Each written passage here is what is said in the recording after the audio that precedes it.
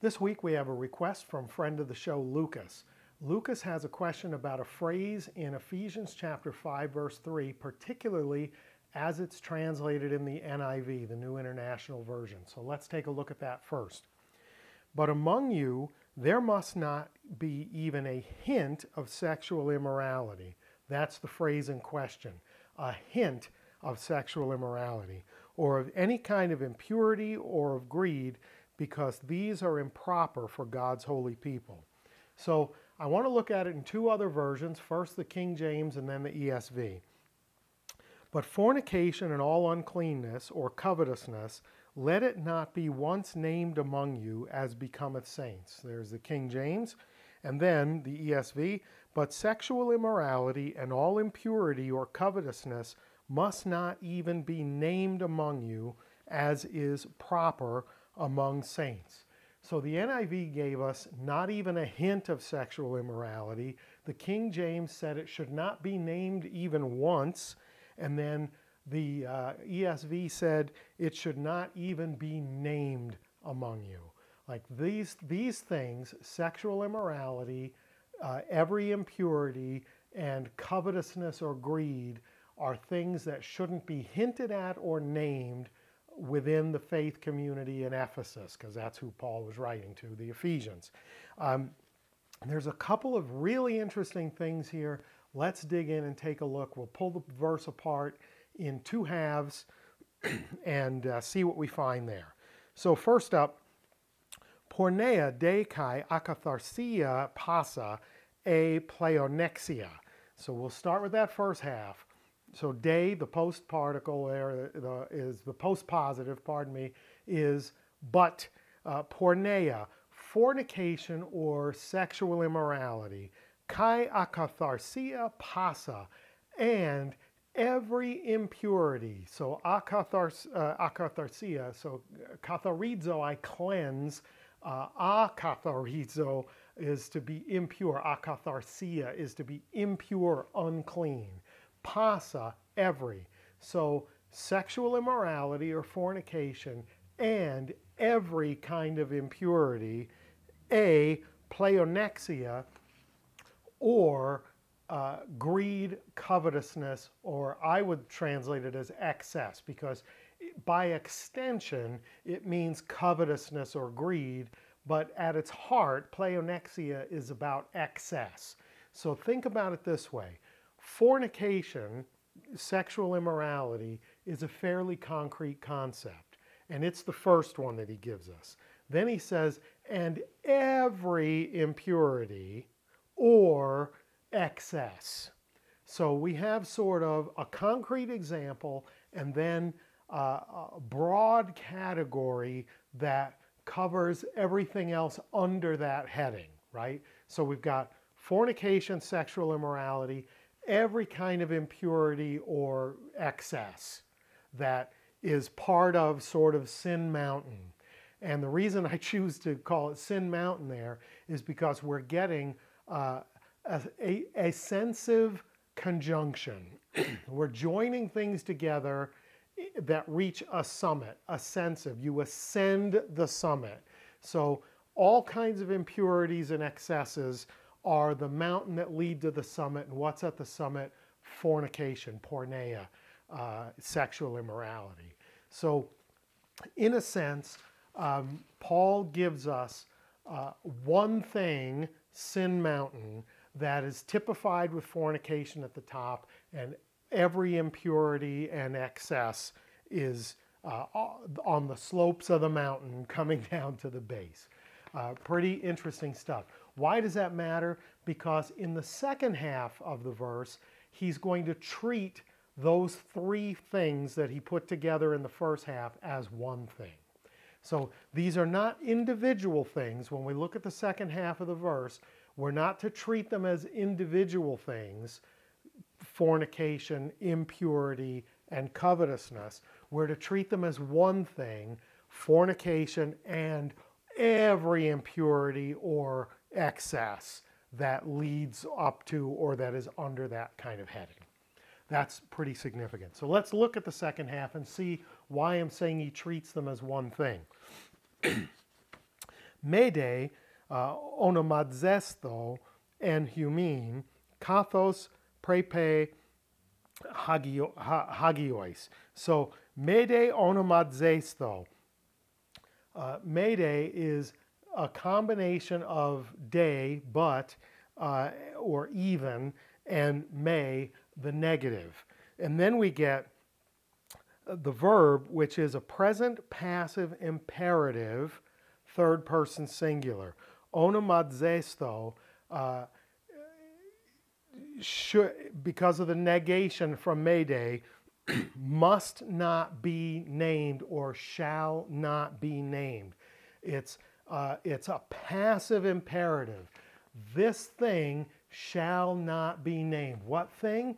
Fornication, sexual immorality, uh, and every impurity or excess.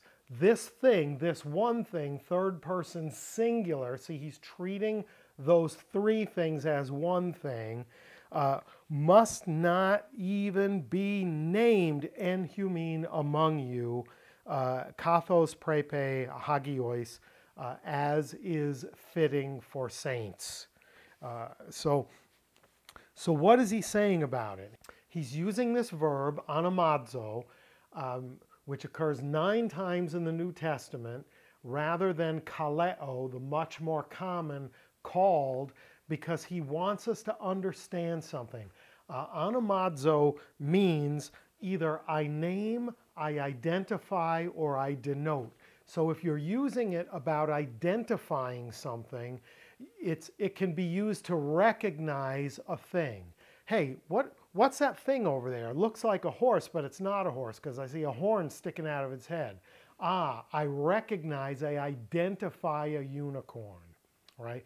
So it can mean not that I'm giving something a new name, but I'm giving it a name as I identify it or I recognize it. I denote its presence here in this place. And so if we take it in that sense, what Paul is saying is to go to the to go to the NIV, there shouldn't even be a hint of this thing, or to go to the ESV, it shouldn't even be named among you. Um, this is a thing that should be so rare, should is so foreign to the faith community that uh, not only should it not be practiced, it should be so rare as to go unidentifiable or undenoted. Um, if we find ourselves seeing it and naming it, recognizing it and identifying it, it's a sign that something's gone horribly wrong. Because this stuff is supposed to be alien to the faith community. Not even a hint, not even a mention, shouldn't be named among you because it's unfitting within the community of saints for sexual immorality and every impurity or excess to be present here in the faith community. So, um, why shouldn't it be named? Because it should be that rare. Does it mean it'll never happen? That's not realistic. But when we're looking at the way the community is structured and its purpose, this is not supposed to be a part of the community's experience. I want to look at a corollary in 1 Corinthians 5 where Paul again is writing to another faith community and he makes a very similar argument, but instead of talking about the behavior, he's talking about uh, members of the faith community and their behavior. So here we have 1 Corinthians 5:11 again from the ESV. But now I am writing to you not to associate with anyone who bears the name of brother if he is guilty of sexual immorality or greed, or is an idolater, reviler, drunkard, or swindler. Not even to eat with such a one. So let's look at this phrase in, in Koine. Aeon tis adelphos uh, onomadzamenos. So Onomadzamenos is a passive participle. It's a perfect tense passive participle, having been named. Okay, so he starts out aeon if, tis, anyone, uh, onomadzamenos, ha- having been named adelphos, a brother. So, if you have someone in the community who, having been named a brother, who is engaged flagrantly, openly, continually in sexual immorality, greed, or covetousness, or idolatry, or is a reviler, a drunkard, a swindler, you should have nothing to do with this person.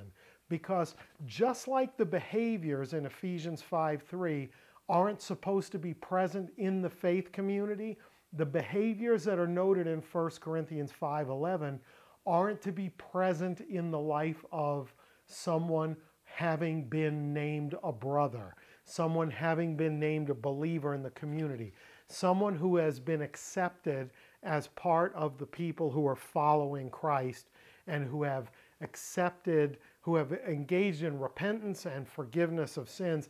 These are not behaviors that are supposed to be a part of their lives. If they are a part of their lives, Paul says, don't have anything to do with that one having been named a brother, because that's not really a brother. He says, don't even eat with them. Why does he say that? In the Old and New Testaments, eating with someone is a sign that you are at peace with them. It's a sign of acceptance. And so I, have always uh, jokingly said, you, you rarely invite your blood enemies to supper, right? Because that's just, when you eat with people, it's, uh, it's a lowering of the guard, it's a welcoming in, it's a hospitality move. It's not something that you do when you're in enmity with people. And so here he says, when you encounter someone, what kind of someone? Someone having been named a brother, but you see that they're engaged in these kind of behaviors uh, on a large scale in the regular. We're not talking about someone who makes a mistake and repents and seeks forgiveness and atonement and restoration, reconciliation. We're talking about someone whose life, someone whose life is in opposition to the, to the uh, values of the brotherhood, of the family of faith. Someone who is engaging uh, openly, fragrant, flagrantly, and continually in things that don't belong in the faith community, Paul says, have nothing to do with them. Uh, don't even eat with them. Separate yourself from them. Why? Because that is not a real brother. That is not uh, someone who is serious about their pursuit of discipleship and following the one who made repentance and forgiveness available. So, uh, you should go and look at the next two verses, 12 and 13 in 1 Corinthians 5, and see just how serious Paul is about this issue. Um, but let's get back to Luke's question. How are we to take this notion of not even a hint? I think it's clear when we look at the two verses together that these things like fornication, every impurity, or, uh, ex- or excess that leads to idolatry and slander and reviling. These things have no place within the community of faith, and therefore they should be unidentifiable. Not that you don't know what they are, but you shouldn't be able to spot them in the faith community because they're supposed to be that alien. There shouldn't be a hint of these things. They should go unnamed because they, they're not supposed to exist within the faith community. If you see them prevalent in somebody's life in the faith community, at some point you're going to have to cut that person loose and have nothing to do with them because it's contrary, it's uh, oxymoronic, it's, uh, it's the antithesis of what the faith community is supposed to be because the faith community follows the one who put a came to put an end to sin and death, not to embrace it. Not a hint, not even uh, named, because it's supposed to be that rare within the faith community and within the members, the brethren of the faith community. So, Lucas, I hope that answered your question. I hope that was valuable for everyone who saw it. Uh, and uh, if it was, you know what to do with the liking, sharing, subscribing, hitting the notification ding, or telling your friends, leaving a little feedback in the comment because the algorithm loves uh, comments. It wants to know that people are engaging with videos. So help me out, help out the channel, leave a comment, let me know what you think. And until next time, Charis Kai Rene Humin, grace and peace to you.